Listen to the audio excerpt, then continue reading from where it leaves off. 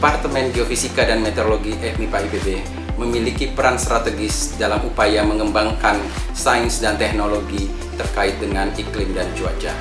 Untuk memajukan hal tersebut, Departemen Geofisika dan Meteorologi memiliki visi yang pertama adalah menjadi Departemen Geofisika dan Meteorologi yang terdepan di Indonesia dan Asia Tenggara dengan kompetensi akademik dan riset bertaraf internasional.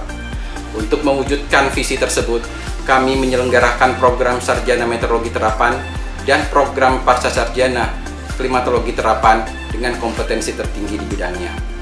Menentukan arah pengembangan sains dan inovasi teknologi dalam memanfaatkan dan mengelola sumber daya alam dan lingkungan.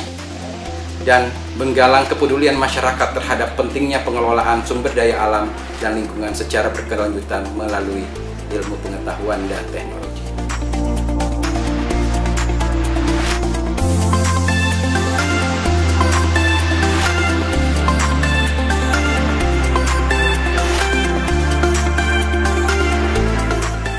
Perubahan iklim dan pemanasan global tengah menjadi isu hangat saat ini.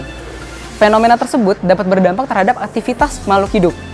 Di Departemen Geofisika dan Meteorologi, teman-teman akan mempelajari hal-hal yang berhubungan dengan iklim, aktivitas makhluk hidup, dan makhluk hidup itu sendiri. Jadi, buat teman-teman yang tertarik dengan isu-isu iklim, yuk kita gabung di Departemen Geofisika dan Meteorologi, kita pelajari bareng-bareng. Teman-teman tahu apa itu hujan? Hujan yang jatuh dari langit tidak langsung berubah menjadi hujan lagi, namun banyak proses yang terdapat di dalamnya. Buat teman-teman yang ingin mengetahui proses apa saja yang ada di dalamnya, yuk pelajari lebih lanjut di Departemen Geofisika dan Meteorologi.